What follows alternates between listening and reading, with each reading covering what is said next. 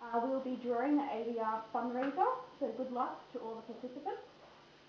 Up would you like to prize?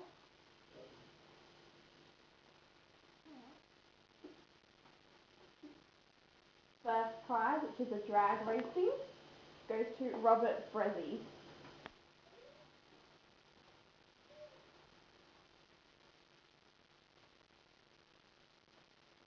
Second prize is Jeff Knight.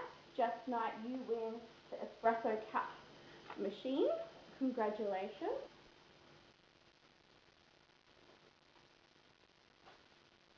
Amanda Clifford, you win the Lonsdale Gym Pack.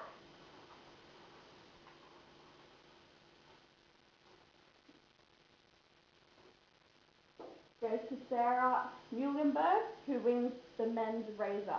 Congratulations to all our winners and you will receive your prizes shortly.